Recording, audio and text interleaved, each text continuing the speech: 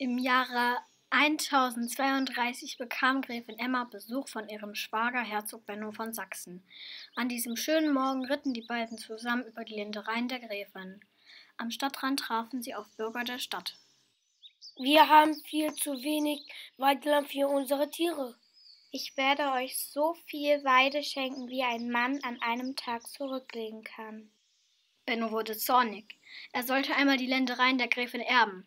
Er hatte Angst, dass Emma zu viel an die Bürger verschenken würde.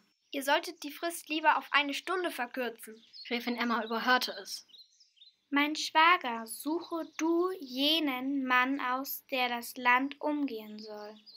Herzog Benno ritt zurück und deutete auf den Krüppel, der ohne fremde Hilfe nicht gehen konnte. Dies soll der Mann sein. Ich werde ab und zu einen Pfahl in den Boden schlagen, um die Strecke zu markieren. Und so geschah es. Die Dorfbewohner waren schon traurig abgezogen.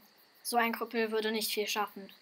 Doch der Krüppel kroch und kroch, ohne Rast und Ruhe, gefolgt von dem Diener, der hin und wieder einen Pfahl in den Boden stieß. Als die Sonne sank und die Nacht kam, gelangte er wieder bei der Stadt an. Als die Bürger wieder erschienen, erblickten sie Pfähle, soweit das Auge reichte. Genug Weide für das Vieh der Bremer Bürger. Seit damals, dem Jahr 1032, gehört die Bürgerweide der Stadt Bremen. Den Krüppel und die Gräfin Emma haben die Bremer Bürger bis heute nicht vergessen.